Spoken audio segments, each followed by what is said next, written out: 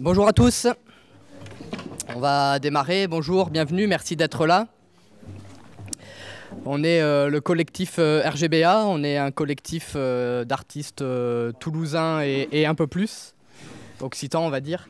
On, est, on, est, presque tous là, il y a encore des gens coincés dans les bouchons, mais donc on, travaille principalement en freelance. on est beaucoup actuellement à être en mission à Airbus, puisque je crois que Henri en a déjà parlé juste avant. Et aujourd'hui, on va euh, vous présenter euh, la future version euh, de Blender, la version 2.8, qui n'est pas sortie, qui n'est même pas encore en version bêta, qui est encore en version alpha. La version bêta est annoncée pour les prochaines semaines, ça ne devrait plus tarder maintenant. donc voilà, autant vous le dire de suite, on va sûrement avoir des crashs, hein, parce que on a récupéré la version compilée de ce matin, si je ne dis pas de bêtises ou d'hier. Donc euh, voilà, c'est tout frais, mais c'est sûr, ça va cracher hein, parce qu'on est encore en version alpha. Euh, on va vous faire un petit tour d'horizon euh, des différentes nouveautés. en une heure, on n'a pas le temps de rentrer dans, dans, les détails. Il y a une conf donnée par François cet après-midi à 15h, qui rentrera plus dans les détails de la partie euh, rendue euh, temps réel. Donc euh, voilà, si vous on va en parler brièvement, mais si vous voulez avoir beaucoup plus de détails, vous pourrez assister à la conf de François cet après-midi. C'est bon la pub? Tu, tu, penseras au chèque pour le. Merci. voilà, je laisse de suite la parole à Marc s'il arrive à se dépatouiller. et sinon, euh, sinon à Henri qui va prendre euh, la place euh, au pied levé. Bon. Donc ça sera Henri. Comme on est un collectif, on peut se remplacer à la volée comme ça. Ok. Me revoilà. Alors, on va commencer. Alors, est-ce qu'on a un blender? Voilà. Alors, alors, juste pour info, euh, donc voilà la nouvelle version de Blender. Elle ressemble étonnamment à l'ancienne. Hein. Euh, mais il y a quand même pas mal de petits changements. Euh, et donc moi là je vais vous faire un petit tour des changements de l'interface. Alors j'ai déjà posé la question, je la repose. Est-ce qu'il y a déjà des utilisateurs de Blender dans la salle? Ouais, ouais, il y en a plein. et est-ce qu'il y en a parmi vous qui ont déjà testé la 2.8 ah ok, bon, c'est pas mal. c'est pas mal. Bon, après, c'est l'avantage de Blender, hein, comme c'est libre, euh, il y a des versions qui sortent tous les jours, donc euh, en effet, ça commence à être pas mal utilisable. Donc, euh, vous avez testé par vous-même. donc, je vais vous montrer un peu les, différences de l'interface. Il y, a pas mal de changements, de, changements intéressants. Donc, ça ressemble toujours à du Blender, en effet, mais les, bah, toutes les icônes ont changé. Euh, les menus ont été beaucoup réorganisés. Euh, la manière de travailler aussi, hein, c'est quand même beaucoup plus facile. on va dire qu'en fait, ils, ont fait un énorme travail bah, de remise en question, de savoir qu'est-ce qui n'était pas facile, pourquoi les workflows étaient tordus et compliqués dans les, versions précédentes, parce que voilà, c'est assez bien. Ils ont quand même bien réorganisé les menus. vous voyez maintenant, on a des choses qui sont alignées. Alors ça peut paraître un peu ridicule, mais quand vous passez votre journée à vous balader dans des menus, euh, ce genre de choses, juste avoir des valeurs alignées comme ça verticalement, euh, bah, ça permet d'aller plus vite, de retrouver plus vite les choses. Euh, autre chose qui est intéressante sur le menu, vous voyez, avant c'était horizontal, ces petites icônes qui sont là. Euh, maintenant, c'est passé vertical. Donc, c'est pas grand chose. Hein. Euh, ça va, c'est pas, la, pas la fin du monde. Mais c'est des petites choses qui vont nous faire gagner euh, à chaque fois des microsecondes et être plus efficace dans le travail. Donc, c'est énormément là-dessus qu'ils ont, réfléchi pour faire une interface qui soit plus cohérente. En gros, c'est ça l'idée. Hein. ça se rapproche peut-être plus des standards de l'industrie, on va dire. Hein. Donc, on, on, peut faire beaucoup plus de choses à la souris maintenant. on retrouve des petites choses comme ça si ça marche, euh, qui, sont, qui sont assez sympas. Euh, donc euh, ça, c'est vraiment le, classique. Il n'y avait pas ça dans Blender, par exemple. On faisait tout, toute la navigation à la souris sans savoir où on allait. donc maintenant, ils ont amélioré. Globalement, si vous connaissez pas trop les raccourcis clavier, vous pouvez mieux vous en sortir avec la 2.8 qu'auparavant. si vous connaissiez les versions précédentes, euh, et si vous avez fait des tests, ceux qui connaissaient, vous avez dû vous rendre compte que, mine de rien, le, gap pour passer de la 2.79 à la 2.8, il n'est pas si compliqué que ça. C'est globalement plus logique. Euh, il y a des petits raccourcis clavier qui changent, hein, euh, mais, on s'y fait vite et on gagne assez rapidement en productivité. Qu'est-ce que je peux vous dire sur l'interface? Un truc intéressant, on a une notion de workspace qui apparaît tout là-haut. Donc c'est des espèces d'onglets qui, sont, qui sont tous disponibles. Avant, c'était une espèce de liste déroulante, par exemple, c'est ce que je vous disais, il y avait des listes déroulantes là-haut, là, qui étaient plus ou moins cachées, plus ou moins utilisées. Là, on est sur un truc qui est bien plus facile et d'un clic à l'autre, on passe, on va passer comme ça d'une organisation de fenêtres d'interface à une autre. et donc, ça pousse un peu plus loin les, l'option. Donc, c'est pas seulement une réorganisation des fenêtres, c'est aussi euh, par exemple, si je vais passer euh, en shading ou en texture paint, automatiquement, mon objet ici euh, est en texture paint. C'était des trucs à la con qu'on n'avait pas comme ça dans la 279. même si on s'était fait une interface en texture paint, on arrivait en mode objet, il fallait à chaque fois repasser en texture paint. Enfin, c'était pénible. Et donc, c'est ces petites améliorations qui sont là qui, sont, qui sont apparues. donc voilà. Il y a encore des choses, euh, on a aussi perdu des choses au passage, hein. on est dans une version alpha, donc euh, il y a des choses qui sont cassées, qui sont pas revenues. Il y a un truc qui fait énormément débat, alors ça on pourrait y parler des heures, c'est complètement... Euh, enfin, ça, peut être stérile, mais les icônes ont changé et elles sont passées monochromes. Et là, c'est une guerre de clochers. Il y a des gens qui vont dire c'est génial, il y a des gens qui vont dire c'est pourri. Et je crois qu'on mettra jamais personne d'accord. Mais voilà, pour l'instant, c'est les icônes qui, qui gagnent. Euh, c'est un peu moins facile à utiliser. Euh, donc ça, c'est Julien qui nous en parlera. Il y a une nouvelle fenêtre qui est apparue par rapport à ceux qui connaissaient déjà la 279. Euh, c'est cette espèce de, de ligne là-haut qui est implémentée à moitié.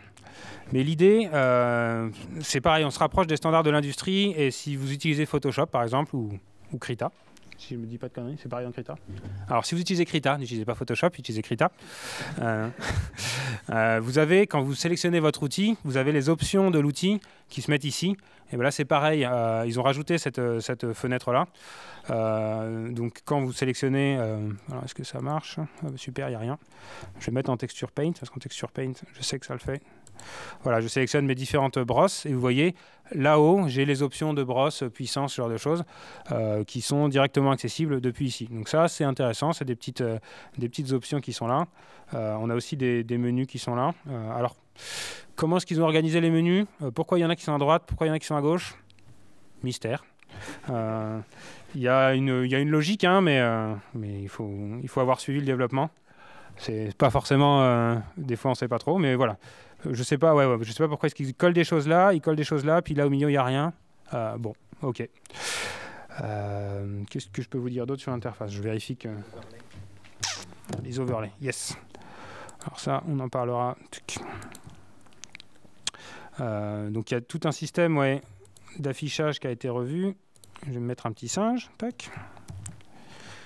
Tac. Donc la nouveauté, on a un nouveau moteur de rendu, j'en reparlerai un peu après, euh, qui s'appelle Eevee. On a toujours Cycles, hein, le moteur de rendu d'avant. On peut passer de l'un à l'autre. Et donc là, c'est pareil par rapport à ceux qui connaissaient Blender par, avant. On avait un truc super euh, qui était la preview du rendu. Donc euh, on calculait en temps quasiment réel, en temps interactif, on va dire, euh, le résultat de notre scène. Et vous voyez, on peut se balader euh, comme ça autour de notre objet. Et Blender nous calcule automatiquement euh, les, ombrages, ce genre de choses. Enfin, il nous calcule le, résultat du rendu et il nous l'affiche. Voilà, je fais des choses comme ça. Le problème dans les versions précédentes, c'est que quand on était dans ce mode-là, on voyait que le résultat du rendu et on voyait plus bah, les, les, par exemple, on voyait plus la caméra, on voyait plus où étaient les lampes, donc on pouvait pas, avec ce mode-là, venir déplacer les lampes. Là, ils ont complètement tout réécrit euh, bah, les fenêtres d'affichage de Blender. On est passé à une interface beaucoup plus moderne. Et donc, du coup, on peut faire ce genre de choses où, euh, malgré le fait qu'on soit en mode rendu, on a euh, on peut quand même visualiser les objets techniques comme la caméra, la lampe. quand je sélectionne un objet, j'ai le petit contour qui se met encore dessus. et j'ai plein d'options qui, qui, sont ici qu'on peut, qu'on peut choisir. si je veux rafficher, par exemple, par-dessus mon rendu, je veux afficher un wireframe je peux le faire. Donc là, je suis en rendu cycle. C'est par-dessus, je viens rajouter un wireframe, donc le, fil de fer qui correspond au tracé du, maillage de mon objet. Et je peux afficher ça. Je peux choisir voilà, ce que je viens superposer. Donc ça s'appelle le système d'overlay parce que c'est ce qu'on vient superposer euh, à, notre affichage. Euh, et donc, en fonction du mode où on est, euh, on va avoir différentes options. Qu'est-ce que je peux vous montrer Si je passe en mode solide, on a des petites options intéressantes. Ce genre de choses. Donc je duplique mon objet. Là, vous voyez, je suis passé dans un mode d'affichage euh, qui s'appelle random. Ça, ça aide bien quand on est sur des scènes complexes, qu'on fait du, modeling, on crée nos objets. En fait, Blender va nous assigner une couleur aléatoire par objet. Euh, ça nous permet juste de mieux euh, bah, séparer, de voir qui est quoi. donc on n'a pas le contrôle sur quelle couleur est assignée, hein, mais l'idée c'est juste de voir, bah, en fonction des objets, on a une couleur et donc on voit mieux l'assemblage de notre, de notre modèle. C'est des petites options qui sont, qui sont assez intéressantes comme ça. On, peut, on peut choisir, on peut choisir de ne pas avoir du tout d'affichage. Donc là, une espèce d'affichage cartoon. Donc en fait, ce qu'on va faire, c'est qu'en fonction de, notre mode de travail, on va, changer l'affichage. Est-ce que je suis, sur, euh, je suis sur du modeling? Est-ce que je dois bien voir mes contours? Ou au contraire, je, dois, je veux bien faire ressortir la silhouette de mon modèle. Je veux voir que la silhouette. Donc dans ce cas-là, vous voyez, je suis passé en mode flat. Et là, j'ai plus aucun affichage, plus rien. Et donc on, a des, on peut jouer avec ça. On a un peu plus de contrôle que ce qu'on pouvait faire euh, précédemment. Euh, j'ai tout dit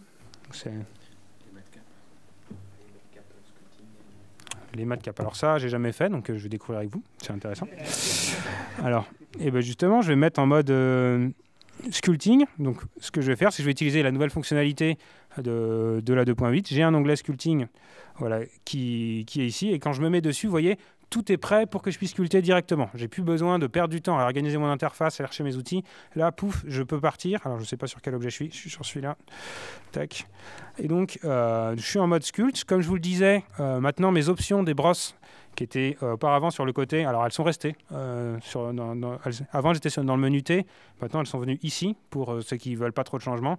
Moi, ce que je vous conseille, c'est de passer voilà, ici vous avez toutes les options de brosse, euh, la texture, euh, les coups de brosse, euh, bah, comme, comme, comme avant. Mais voilà, c'est accessible directement depuis là-haut. Et vous voyez, l'affichage de ma vue 3D, c'est aussi mis à jour. Et donc, du coup, ils ont intégré différentes matcaps. Est-ce que je peux passer De quoi De quoi Ah, yes, merci. Ah, qu'est-ce qu'il me dit? Ah, Il va m'engueuler. C'est parti. Je suis un trop. Ok. Donc là, je vais commencer à sculpter. C'est magnifique. Tac. Je lui fais des cornes. Et donc, vous voyez, il y a un système de matcap. Donc, euh, pour ceux qui font du sculpte euh, déjà, c'est-à-dire euh, sculpte, c'est de la sculpture numérique. Hein, c'est comme si on manipulait de la, glaise ou de l'argile directement dans, en 3D. Euh, généralement, il faut bien sentir les volumes. Ce qui est important dans cette étape-là, c'est de sentir euh, est-ce qu'on fait un creux, est-ce qu'on fait une bosse. Et donc, on utilise ce qui s'appelle des matcaps, c'est un petit nom euh, rigolo. et donc là, avec la 2.8, on a possibilité, on a plein d'options en fonction de ce que vous aimez pour bien sentir le volume. Donc ça, c'était un truc assez sympa. Ils ont demandé à la communauté de fournir des matcaps. On a possibilité, avant c'était, ça existait déjà hein, dans la 279. Maintenant, on a possibilité d'ajouter ses propres matcaps depuis les préférences euh, qui sont là. Vous voyez les préférences, maintenant c'est dans le menu Edit, comme dans plein de soft. Et je sais plus trop où, ça doit être par là. Il y a possibilité, je sais, de, changer le menu matcap. Voilà, c'est ça. Ici, on peut ajouter des, on peut ajouter des en cliquant sur Add matcap. Et donc, vous pouvez vous faire vos matcaps custom. Donc euh, c'est des petites choses, mais ça permet voilà, de, mieux travailler, d'être plus efficace. Euh, donc on rationalise un peu plus euh, le travail sur Blender et normalement ben, on gagne du temps et on est plus content.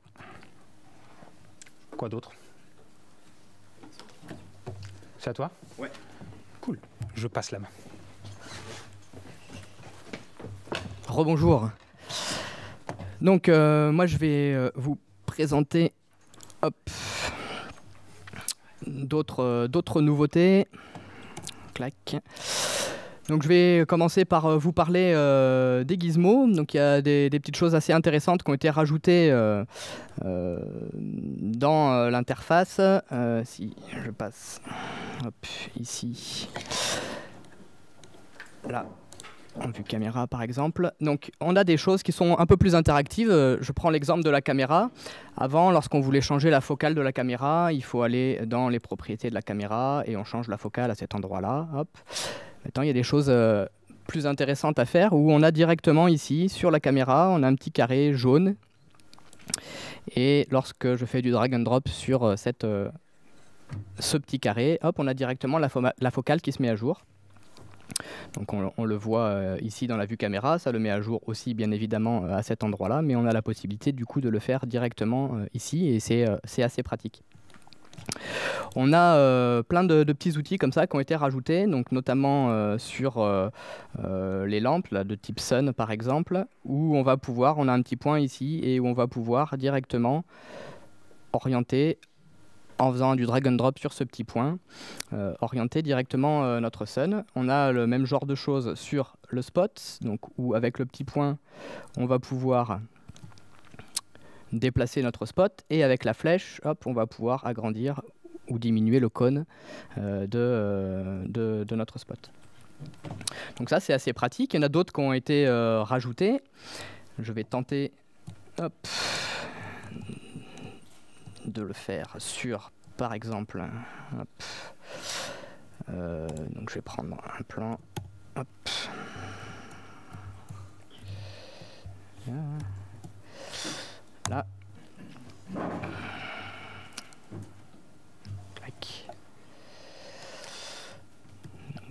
Je sélectionne, j'ai perdu ma souris, voilà, elle est par là.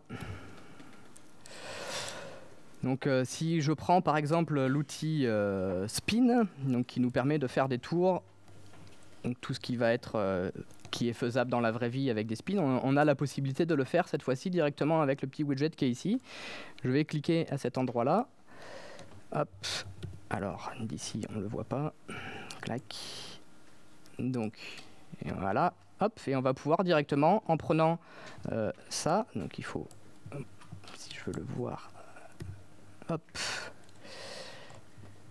ah, il y a des, petits euh, réflexes que j'ai toujours de la 279 et qui ne marchent plus forcément ici, donc je vais, euh, je vais prendre l'habitude moi aussi hein, de l'utiliser, il n'y a pas de souci. Hop.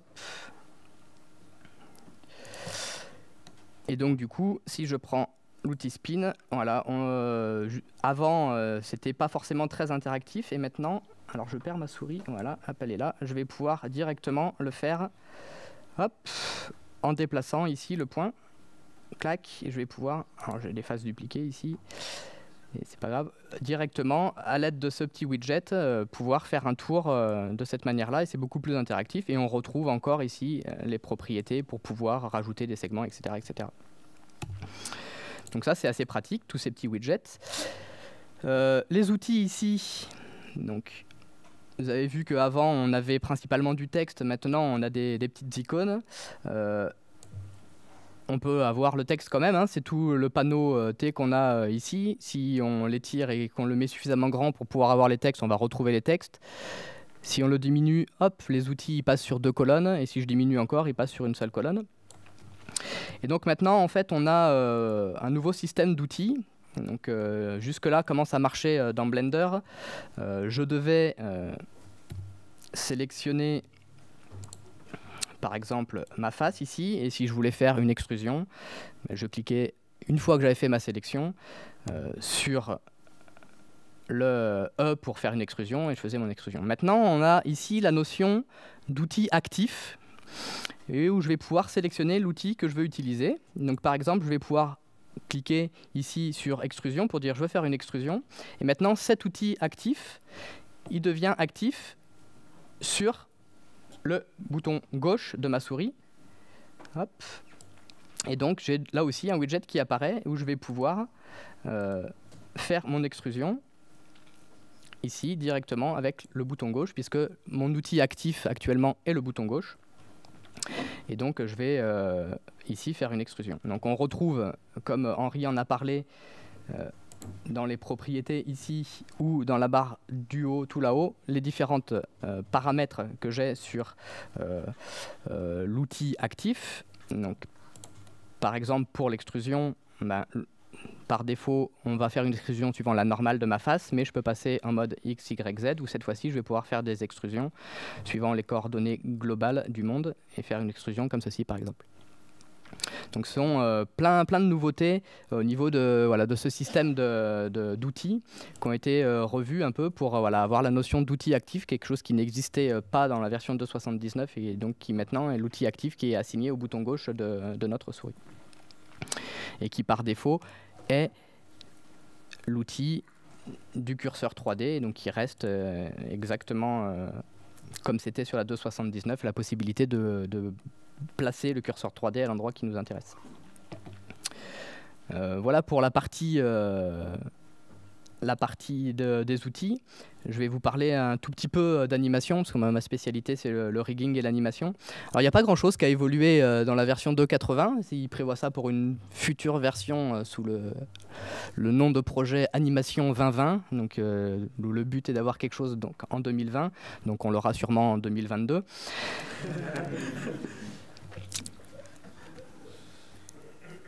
Et euh, donc du coup pour la 280, on n'a pas grand chose qui a, changé. Il y a juste une modification. Donc euh, hop, si je repars sur une, scène, une scène propre, une modification qui va faire plaisir à tous les animateurs qui viennent d'autres euh, logiciels. Jusque-là, on avait une timeline, on l'a toujours. Notre timeline, dans la version 2.79, elle ne servait pas à grand-chose, puisque à part visualiser, on ne pouvait pas faire grand-chose dedans. Et ça, c'est quelque chose qu'ils ont changé puisque comme c'est le cas dans la plupart des autres softs, euh, alors je vais faire une magnifique petite animation. Hop. Voilà.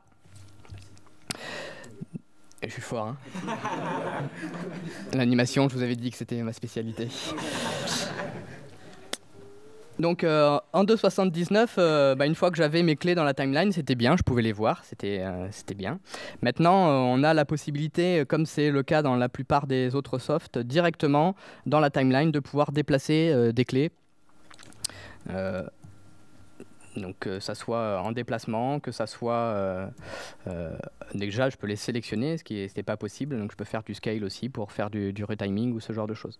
Donc en fait notre, euh, timeline elle est toujours là, c'est un espèce de dope sheet déguisé. euh, c'était euh, la combine qu'on utilisait avant lorsque les utilisateurs d'autres softs euh, propriétaires voulaient absolument pouvoir bouger leurs clés. Ben, ce qu'on faisait, c'est qu'à la place de la timeline, on leur mettait un dub sheet diminué au minimum pour qu'ils aient juste la ligne d'en-tête. Donc là, ils l'ont, ils l'ont fait directement. Donc voilà, pour ce qui est de l'animation, il n'y a pas grand, grand autre nouveauté que ça. Il y a des petits ajustements à droite à gauche, mais je ne vais pas rentrer dans les détails. Et je vais passer la main à je ne sais plus qui c'est qui continue c'est Kevin.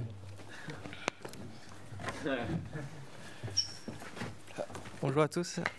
Euh, du coup, moi je vais vous parler euh, du coup du système de collection qui a été intégré à Blender pour remplacer en fait tout le système de, de groupe et de layer qui était euh, précédemment dans la version 2.7. Alors il n'y a pas encore l'interface très précise pour gérer le lien avec les, ce qui s'appelle ici les view layers. Peut-être que je vais agrandir l'interface. Si on peut, ici. Il y a le système euh, View Layer. Ici, c'est donc c'est le nouveau système de layer.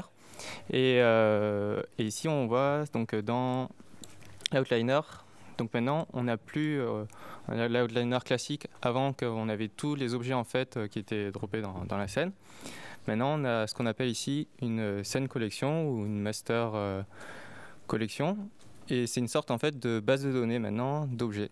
Et dans cette base de données, on va avoir euh, plusieurs ensembles, appelés ici par exemple euh, donc, euh, collection. Donc on peut créer plusieurs de, collections, ça a le même sens en fait que, les groupes, mais avec beaucoup plus de fonctionnalités. Je peux créer pas mal de collections, je peux créer plusieurs objets.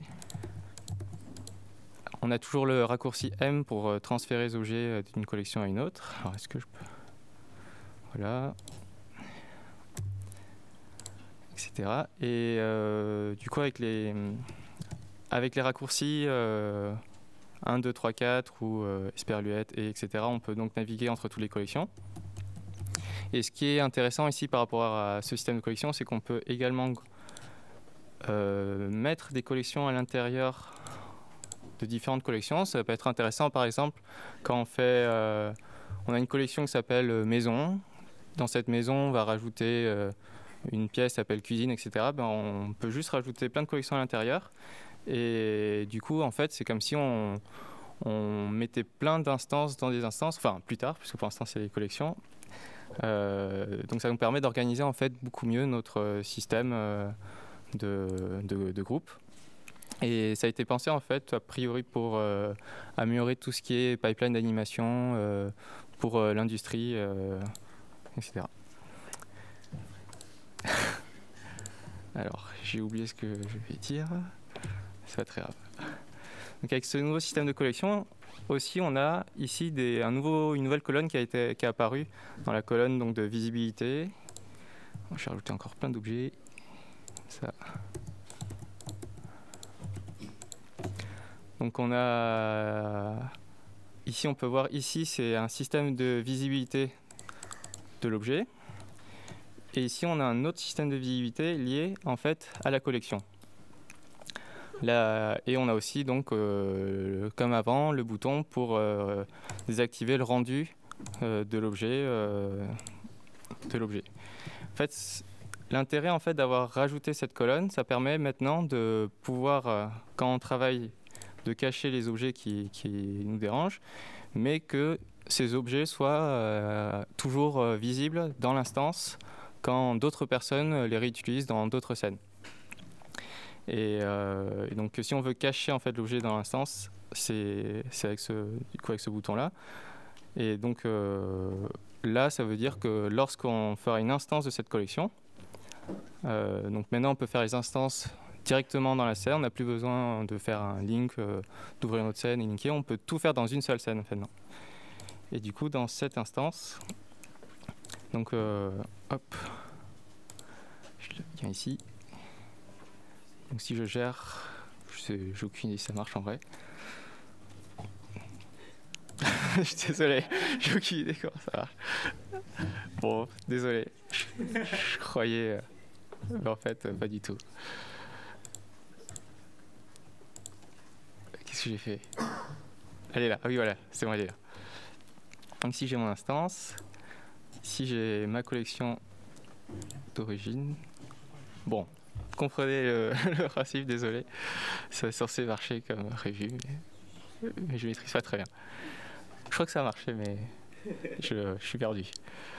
Et euh, donc voilà, avec ce nouveau système euh, de groupe, Maintenant, en fait, euh, donc, il faut voir ça maintenant plutôt comme des sortes d'ensembles.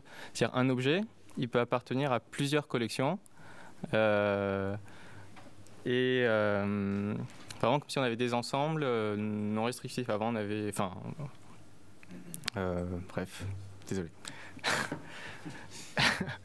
et du coup, maintenant, on a le système de layer, il n'est pas encore implémenté. Il devrait être prochainement implémenté pour avoir une interface euh, pour pouvoir gérer les layers. Pour l'instant, tout ce qu'on a, c'est ce petit menu en haut à droite. On a le premier view layer. Et du coup, on peut rajouter d'autres layers. Et on va assigner en fait euh, des layers, des collections aux layers. Donc ici, j'ai sélectionné euh, le premier view, layer. Je vais sélectionner les layers, que, les collections que je veux exclure. Donc avec E, je peux exclure euh, ces collections. du coup, quand je suis dans ce view layer, je n'ai que les deux premières collections.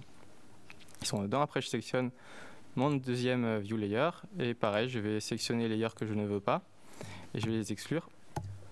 Les collections. Et je peux choisir vraiment mon dernier layer. Sélectionner les collections que je ne veux pas. Et les exclure. Et après, il y a avec Alt, avec Alt E, pardon, avec E pour cacher et Alt E pour euh, rafficher euh, les, euh, les, collections dans le View Layer.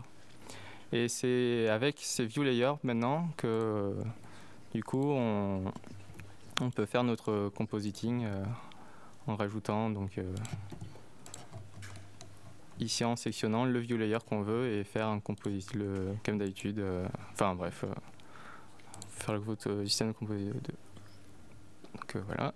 Et, y a, et en fait, maintenant, il y a aussi un nouveau système qui, qui est pas prévu pour la 2.8, mais pour euh, plus tard. C'est le système d'override qui est en train d'être développé et qui devrait arriver il y a 2.81, 2.82 normalement, qui devrait être vraiment utile pour gérer toutes ces collections et gérer toutes ces instances.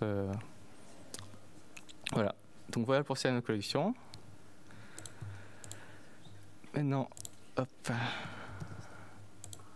Je vais vous parler d'un autre, euh, une autre, euh, d'un nouvel outil qui a été intégré dans Blender. Donc c'est le multi-edit.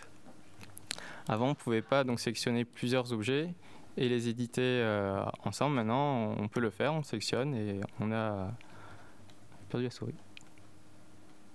Ah c'est juste que je vois pas. on peut donc sélectionner plusieurs objets, les, éditer ensemble. Et, et je je. Ouais, ça, ça, ça marche bien. On peut euh, faire. On peut, on a tous les outils euh, qui existent, euh, qui sont aussi multi-objets, donc le, BVL, etc. Donc, ce qui peut être intéressant d'avoir cet outil donc multi-edit, c'est, par exemple ici donc j'ai, plusieurs objets, j'ai besoin d'avoir une UV pour tous ces objets et ça peut être super intéressant pour le jeu vidéo. C'est qu'on peut du coup euh, dupliquer, euh, qu'on peut faire l'UV, euh, UV mapping, di- enfin un atlas d'UV directement en, en éditant justement de ces multi-objets. Donc là on récupère l'UV et on a donc euh, tous nos objets en une seule atlas directement. Et on peut tous les éditer directement sur l'atlas, euh, ils sont tous affichés et, et on a le maillage de, de tous, ces, tous ces objets. Et, si, et en animation, ça peut être aussi super intéressant. On peut avoir plusieurs armatures et euh, ça peut être très simple. Il y a deux personnes euh, qui dansent et qui doivent euh, se tenir la main ou des choses comme ça. Bah, c'est assez facile du coup parce qu'on a les deux armatures On peut animer les deux armatures en même temps directement dans le même, dans le même éditeur. Et après, je crois qu'ils veulent étendre tout ça à ce que ce soit à la peinture, au sculpting. Donc normalement, ça peut être un outil assez puissant. Voilà, je passe à la suite. Ouais, je crois que c'est à toi. Me revoilà. Alors, euh, je sais pas si vous avez remarqué, mais là, euh, on n'a toujours pas eu de crash. C'est pas mal hein, pour une version alpha. Euh, donc moi, je vais finir sur les features les plus, euh, on va dire, high candy, là, les plus sympas. J'ai de la chance.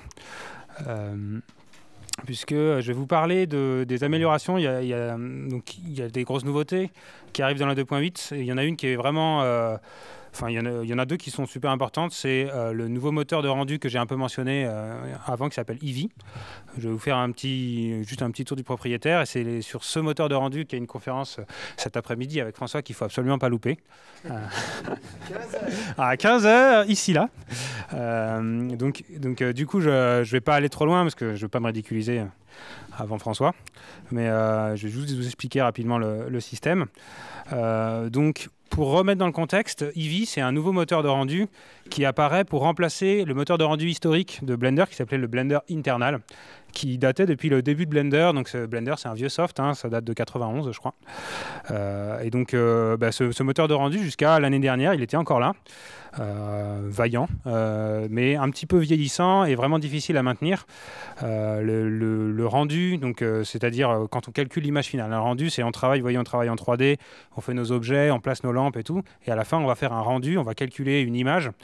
Et donc ça, ça a évolué énormément, notamment avec les techniques du jeu vidéo. Euh, puisque maintenant euh, les, techniques venant du temps réel, le jeu vidéo c'est ce qu'on appelle le temps réel, euh, bah, on, arrive à avoir des résultats vraiment super réalistes avec de, de l'illumination, des ombres douces, ce genre de choses en temps réel. Et donc, euh, ce que se sont dit les développeurs de Blender, c'est bah, euh, plutôt que de, se- de s'embêter à, développer, de surdévelopper maintenir un vieux moteur de rendu avec des paradigmes euh, qui sont complètement dépassés, ils sont repartis à zéro. Ils ont viré le Blender internal. Donc, dans la 2.8, vous avez plus l'ancien moteur de rendu, il est dégagé. Et à la place, vous avez donc ce moteur Eevee qui est bah, amené à plus ou moins le remplacer. Donc, la promesse de Eevee, c'était de faire du rendu temps réel. Alors, il faut se méfier parce que c'est pas tout à fait du, rendu temps réel comme euh, le rendu temps réel, ça serait plus euh, ce qu'il peut y avoir dans les moteurs de jeu. Donc, ça serait comme dans Unity, dans Godot, dans Unreal Engine, vous aurez du rendu temps réel, c'est-à-dire que vous aurez votre image qui sera calculée 30, 60 fois euh, par seconde pour que ce que vous voyez à l'écran quand vous vous baladez, c'est vraiment le résultat final. Dans Eevee, c'est pas tout à fait ça. Donc, on va avoir un rendu interactif euh, très fidèle, très proche du résultat mais on aura encore cette notion d'appuyer sur un bouton et d'attendre, euh, par exemple, une à deux secondes pour que notre image soit calculée. Ça va quand même très vite. hein. Euh, on peut avoir des images en 4K générées en une seconde, ce qui est impensable avec l'autre moteur de rendu de Blender qui s'appelle Cycles. Mais pour autant, on n'est pas tout à fait sur du temps réel. On est sur quasi temps réel. Euh, donc ce moteur il est, tout neuf, tout beau, donc il utilise plein de principes euh, assez modernes, il a des, fonctionnalités vraiment sympas. Euh, et pour en parler, Hop là, je vais passer donc ici en mode euh, bah, Eevee justement. Est-ce que je suis en mode Eevee Voilà, c'est ça. Et ce que ça fait, je vais y aller directement. Donc voilà, je suis dans ma vue 3D, je peux, éditer. Et donc là, on a vraiment cette notion de temps réel. Vous voyez, quand je vais déplacer ma lampe, eh bien, automatiquement, grâce à Eevee, euh, l'ombre de l'ombre portée de mon cube, elle est calculée, là pour le coup, en temps réel. Euh, donc toutes les modifications que je vais faire sur ma scène, je vais venir modifier. Alors pour qu'on le voit bien, je vais venir, pareil, j'aime bien mettre, non pas ça, une tête de singe, donc Suzanne, la mascotte de Blender. Je lui mets un petit modificateur subsurf pour qu'elle soit un peu plus définie. Et alors le, le Shade Smooth qui était sur le menu du côté là, a forcément disparu avec le nouveau système d'outils. Alors il est dans W. Dans W, il y a Smooth Shading. Paf. Et donc si je sélectionne ma Suzanne, je vais lui mettre un matériau. Donc petite nouveauté pour ceux qui connaissent un peu Blender, maintenant le, le matériau par défaut euh, s'appelle le Principal BSDF. C'est un espèce de super shader qui permet de simuler à peu près toutes les surfaces euh, naturelles qui existent dans le monde. Et il est présent par défaut. Quand vous créerez un matériau, vous avez plus le petit diffuse qu'il y avait avant, vous avez un Principal BSDF. Et donc, la, fonctionnalité de Blender qui est vraiment un truc super, c'est que euh, pour ceux qui connaissaient Blender aussi, avant, avec Cycles, l'autre moteur de rendu, on utilisait ces espèces de petites boîtes qui s'appellent des nodes et on fait, notre, euh, on fait ce qu'on appelle un arbre nodal, un shader graph, où on va euh, connecter les boîtes entre elles pour créer des textures, des matériaux, mélanger les couleurs, ce genre de choses. Euh, et donc, ce qui est vraiment très chouette, c'est qu'avec Eevee, ils ont gardé le même principe. Donc, on créa des matériaux de la même manière que pour Cycles. Et surtout, l'arbre de le, ouais, le shader graph, les différents nœuds, sont compatibles. Et donc, ça, c'est un gros plus, c'est qu'on peut passer quasiment tous compatibles, pas tout à fait, mais on peut passer, on peut créer notre matériau pour Eevee. Euh, et puis se dire ah bah tiens finalement je vais faire mon film pas en Eevee mais en Cycles euh, et euh, bah, on change juste le moteur de rendu ici et le résultat sera à peu près pareil et donc ça c'est un gros point fort c'est vraiment très chouette et donc si je vais venir changer ma couleur donc vous voyez là j'ai changé la couleur de mon objet est-ce que ça se voit C'est bien. Euh, je peux aussi changer, par exemple, dire est-ce qu'il est, il est, il est métallique ou pas. Donc ça, c'est différents paramètres. Hein. Euh, c'est basé donc sur tout ce qui est euh, matériaux BSDF le mot magique qui est très à la mode, c'est PBR, donc Physically Based Rendering. Donc on est PBR, c'est cool, on est super PBR. Euh, euh, et, donc voilà, Eevee, euh, on, peut, créer nos matériaux comme ça, juste en jouant avec les petits sliders. Vous voyez, je rends ma surface plus ou moins brillante, et j'ai surtout l'avantage de le voir complètement en temps réel. Et ça, c'est vraiment très intéressant. alors c'est là-dedans que je mets l'environnement sinon. Donc là, pour le coup, je suis pas en Eevee. Je suis dans une espèce de mode hybride euh, que je ne saurais pas trop expliquer. Euh, ah ouais, c'est Eevee qui tourne derrière Ok. Alors ils ont. Avec un, paquet de presets filés avec. Euh, c'est juste ça Ok. Ah bah au moins c'est logique. Ça aurait été embêtant qu'ils refassent tout. Donc ça c'est intéressant. Du coup je peux en parler. C'est le ça, c'est notre rendu final. Et ils ont rajouté un mode intermédiaire euh, dans le métier, on appelle ça le look dev. C'est justement quand on va créer nos matériaux, on va définir le, look, l'apparence définitive de nos, objets. Euh, et donc pour ça, on a besoin d'avoir euh, ben, un, environnement de travail dédié. Et il y a ce nouvel environnement qui est arrivé dans Blender où on peut, vous voyez, directement, on a des presets qui nous permettent d'avoir une, une image HDRI qui est mappée tout autour de nous. Et ça va nous ajouter, vous voyez, on voit les euh, alors je vais, hop là, vous voyez si je mets, euh, si je mets mon roughness à zéro, je vois que j'ai une surface très, très, très réflective et donc du coup, euh, en temps réel, je vois le look de mon, de mon objet et je vais pouvoir, avec assez fidèlement en fait, venir tweaker mes paramètres pour que j'ai définisse bah, les bonnes valeurs de mon matériau. Et je sais que quand j'ai fait ça, euh, normalement, j'ai pas de mauvaise surprise quand je passerai au moment du rendu final. Ma surface va se comporter euh, de, la bonne manière. Donc il y a des choses intéressantes. Euh, de base, on a cet environnement-là. Si je clique ici, je peux choisir quel type d'environnement je fais. Et donc quand on fait du look dev, en fait, on va tester notre matériau sous différentes lumières, sous différents éclairages, et s'assurer qu'il réagit toujours bien. C'est une des bases, c'est pour ça qu'on fait du physically based rendering. Euh, on essaye d'utiliser des valeurs qui sont physiquement correctes pour que la lumière, euh, ben, euh, enfin que la, surface réagisse de manière correcte et calculée correctement à la lumière. Et donc du coup, on n'aura pas de mauvaise surprise si notre modèle, on peut le mettre en plein jour ou en pleine nuit, complètement éclairé ou complètement sombre, il va se comporter de manière physiquement correcte à la lumière. Et donc en venant ici, cliquer Euh, je peux venir changer les différents environnements. Je peux venir aussi tourner, ça c'est important, c'est quelque chose qu'on fait très souvent. Si vous utilisez un autre outil qui, n'est pas libre malheureusement, mais qui est absolument génial, qui s'appelle Substance Painter, euh, ils, ont, mis toutes ces fonctionnalités comme ça. Et en fait, quand on, quand on vient peindre ces matériaux, donc faire, du look dev dans Substance Painter, on a ces mêmes fonctionnalités qui viennent de là et on passe son temps à faire tourner la lumière autour pour s'assurer que notre matériau prend bien la lumière. Donc là, on le fait, euh, c'est un peu moins intuitif, mais on le fait voilà, depuis ce menu qui est là je joue, je fais tourner mon objet et je regarde comment la surface réagit. Euh, est-ce que c'est cohérent? Est-ce que tout d'un coup ça bug pas, ça part pas dans tous les sens? Je peux venir ajouter si je veux. Donc en plus de mon éclairage HDRI, je viens superposer mon éclairage de la scène. Euh, et donc du coup, comme ça, je verrai aussi comment ça correspond si moi je me suis fait un éclairage avec des, lampes euh, bien placées, je peux voir aussi comment est-ce que mon matériau réagit. Mais si je veux vraiment avoir le résultat final, je peux de toute façon passer en mode EV juste à côté. Et là, voilà, là j'ai mon résultat final. Et vous voyez la, la surface, regardez la surface, ça c'est mon résultat final. Et en mode look dev, je vais ça. On a quelque chose comme ça. On voit que même si l'éclairage est différent, la surface se comporte de la même manière. Et donc ça, c'est assez important. Euh, c'est assez fantastique de pouvoir faire son look dev du coup comme ça avec un résultat quasiment en temps réel. Euh, et, du coup, euh, bah, ça permet de, gagner énormément de temps sur les prods. Ok, donc je parle un peu trop. Il me reste 5 minutes pour faire une autre feature. Donc Eevee, je vais pas aller très loin. J'aurais aimé faire des trucs cool, mais je vais pas avoir le temps. Mais de toute façon, vous avez la super conférence de. Ah, Tac. Est-ce que je peux y arriver? J'ai une petite feature sympa. Et je pense que tu, vas en parler d'ailleurs des volumes, euh, des volumétriques? tu vas parler de tout ce qui est volumétrique et compagnie. Euh, c'est cool. Bon ben alors dans ce cas-là, j'ai pas le temps d'en parler, donc c'est génial. Donc euh, revenez à 15h pour voir du EV, ça va dépoter. Euh, c'est vraiment une des, fonctionnalités les, plus sympas de la 2.8. Ça attire énormément de monde. Tout le monde est assez curieux de voir comment ça va réagir. Euh, c'est à mi-chemin entre les moteurs de rendu traditionnels et puis ceux qu'on trouve vraiment dans le temps réel. Et c'est un bon compromis qui permet de faire des prods vraiment sympas. et donc j'ai juste quelques minutes pour vous parler de la dernière killer features de la 2.8. C'est là qui, qui est vraiment très sympa. Euh, qui s'appelle le Grease Pencil. Donc c'est pour ceux qui connaissent Blender, c'est quelque chose qui existe depuis euh, pas mal de versions déjà. Euh, et c'était un outil d'annotation. C'était un outil quand on, qui permettait de travailler. Vous avez fait votre modèle et en fait on venait. Je crois que alors si je remets un général, vite fait, clac. Où est-ce qu'il est? Je crois que c'est ça. C'était un outil où on venait dessiner, vous voyez, dans la vue 3D.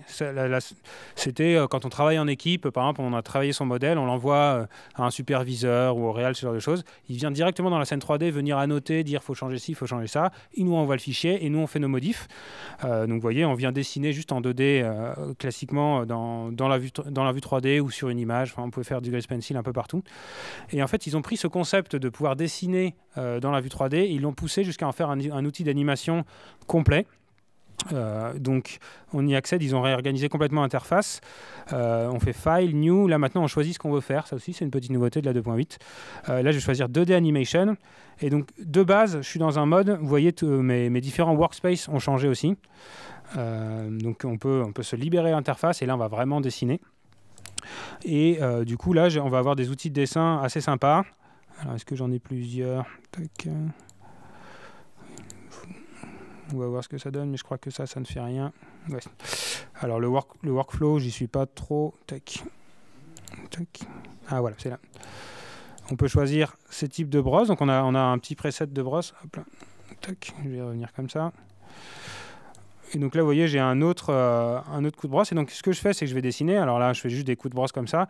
On est complètement en 3D. Donc, c'est ça l'avantage qui est vraiment sympa, c'est qu'on est complètement en 3D, mais on a tous les outils de dessin classique euh, d'un soft 2D. Alors, quasiment tous les outils, hein. c'est assez basique, mais ça permet quand même de, bosser euh, correctement. On a un système de calque qui est ici. on peut choisir ces différentes couleurs. Là, par exemple, je vais passer en rouge. Et hop, je viens peindre en rouge. Ah, tiens. Qu'est-ce que j'ai fait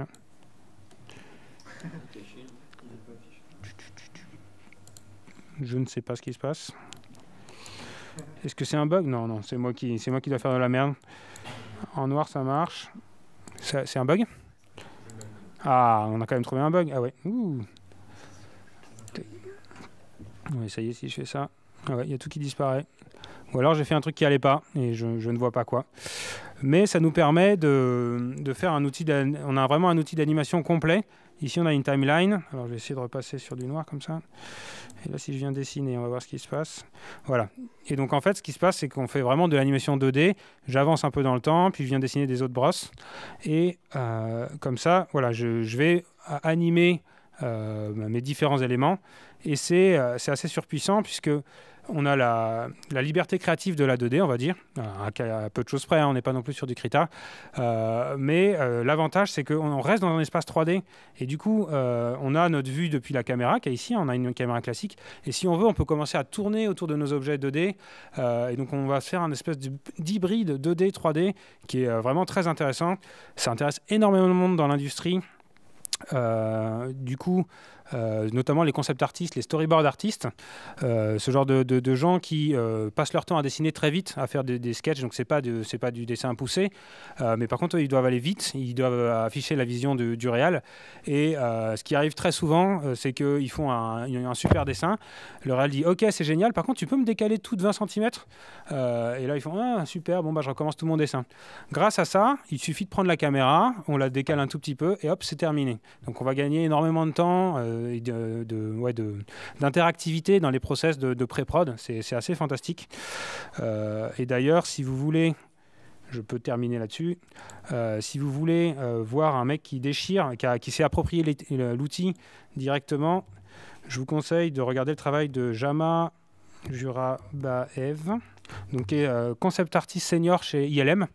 ILM, c'est ceux qui font Star Wars euh, et tout un paquet de, tout un paquet de, trucs sympas.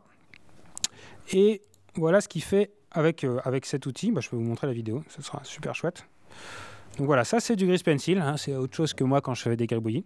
Et donc vous voyez tout l'intérêt, c'est qu'il dessine en 2D, puis il va tourner autour de son modèle et dessiner en 3D, remplir les formes. Euh, donc voilà, ça c'est dans Blender, il y a un potentiel absolument dinguissime.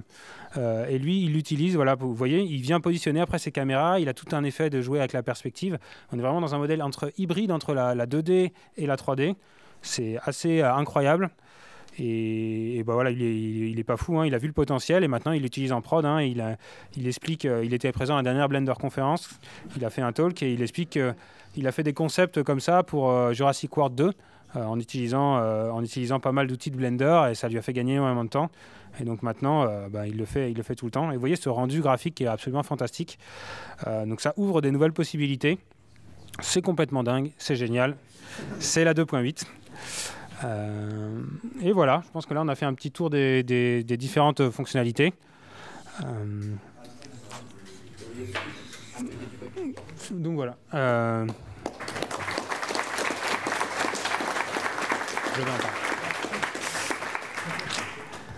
Alors, juste avant les questions, j'en profite comme il y a plein de gens. Si jamais tout ça, ça vous intéresse, il y a un Blender User Group à Toulouse euh, qui fait des, ateliers tous les mois au Centre Bellegarde avec Tout Libre, la sauce qui organise le Capitole du Libre. C'est gratuit, c'est Valentin là-bas, qui est un copain euh, qui est avec nous à RGBA et qui, organise tout ça. Donc si ça vous intéresse, n'hésitez pas à aller le voir.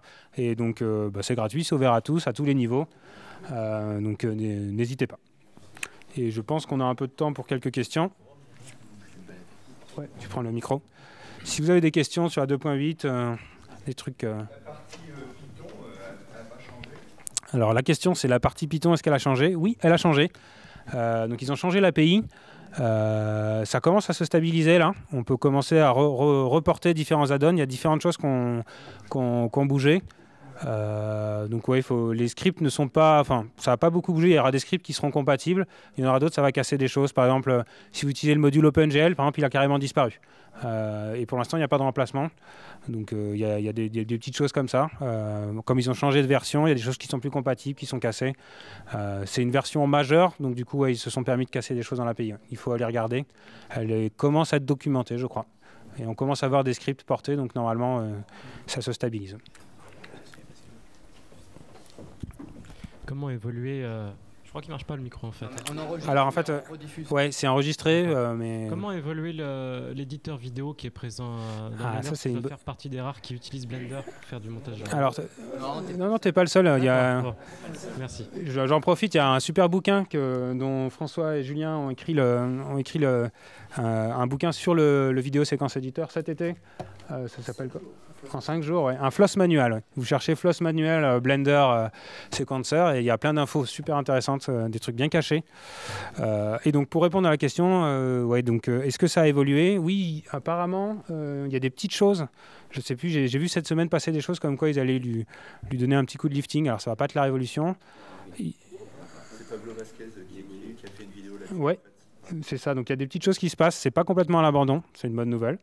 Euh, c'est pas non plus la révolution, je pense, hein, mais. Euh... En fait, il dit que l'année dernière, ils ont fait une espèce de, vote euh, pour dire euh, quel est le truc sur lequel vous voudriez voir des améliorations. Et les gens ont voté dans la salle et le truc qui arrivait en premier, c'était le, le, Ouais, ouais, ben. C'est pas si rare de voir des gens utiliser le séquenceur. Il a des avantages non négligeables par rapport à, à d'autres softs, en fait. Et euh, il plante, plante pas trop.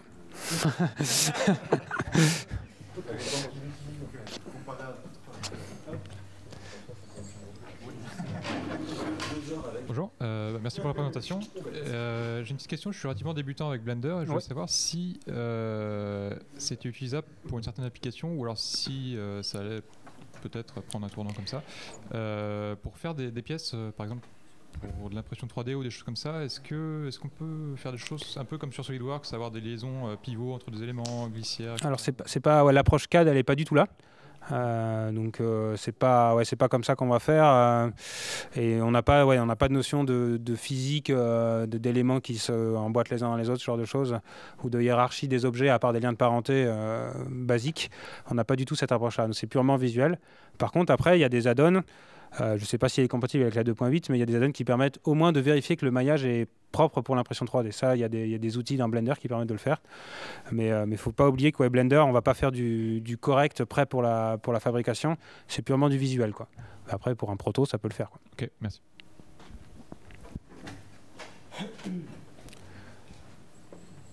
Eh ben, parfait. Si vous n'avez pas d'autres questions, euh, merci, puis bon appétit. Merci.